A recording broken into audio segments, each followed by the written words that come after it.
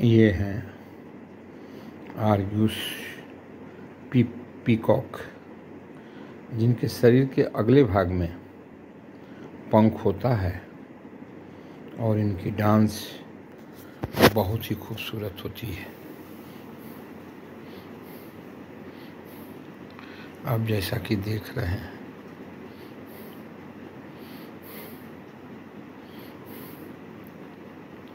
ये पीकॉक अपनी खूबसूरती और अपने डांस के लिए फ़ेमस है। अगर आपको ये आर्टिस्ट जो जंगल का